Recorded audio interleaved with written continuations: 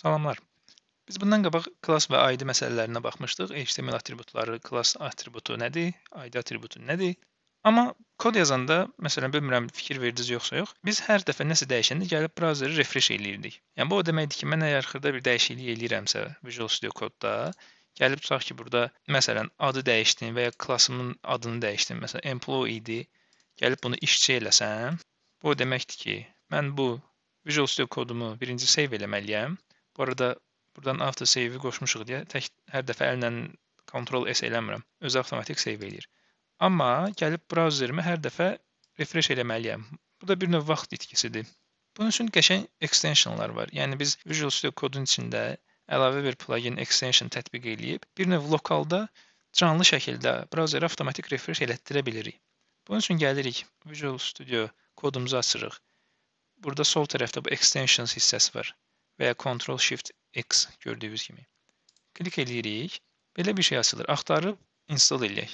Adı Live Serverdir. Ola bilsin fərqli bir çox şey tapa bilərsiniz. Yəni axtarın, doldu. Amma ən çox istifadə olunanlardan biri budur. Live Server. Klik elədim. Axtarıb tapandan sonra install eləyirəm. Bu biraz çəkir.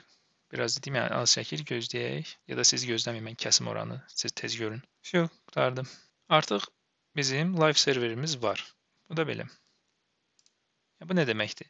İndi mən gəlib eyni klassı buradakını da dəyişim, işçi eləyim.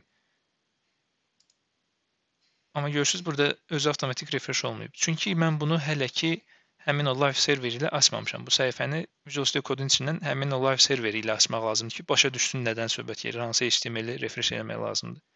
Ona görə bunu bağlayıram buradan. Qayıdıram bura. HTML elementimin üzərində sağ klik edib deyirəm ki, Open with Live Server. Bu da soruşur ki, hansı brauzerindən açmaq istəyirsən? Hansından xoşunuz gəlirsə ondan açın. Hələ ki, Chrome-dan açdım. Görürsüz burada bundan qabaq faylın olduğu yerin, yəni bizim fayl sistemimizdəki yerini göstərirdi. Amma indi belə bir IP adresi yazılıb. Bu bizim lokal hostumuz, yəni kompüterimizdə olan lokal bir server sayılır. Server nədir, nə üçündür filan, onları da sonra backend mövzularına baxsaq baxarıq. Amma hələ ki belə fikirləşin ki, arxada bizdə bu Visual Studio Code özü avtomatik bu index HTML-i açıb və qulaq asır. Biz nəsə dəyişsək, gəlib avtomatik bunu yeniləyəcək. Yoxlayaq. Məsələn, bayaq bunu silmişdim. İndi gələk bu növbətlərini də HTML-də dəyişək, baxaq, yoxlamaq üçün nətər görünəcək. Sadəcə həqiqətən dəyişdiyini görənmək üçün belə bir şey eləyəcəm. Yan-yana. Gəlirəm burada bu employee-ni də dəyişirəm. Görürsüz, Kopyaladım, yapışdırdım. Sonra avtomatik Visual Studio özü save elədi. Buradan autosave qoşuldu deyə. Mən heç Chrome-a əl vurmamış özü refresh elədi, dəyişdi. Eyni şey gəlirəm burada, bunu da dəyişirəm və özü refresh elədi, dəyişdi.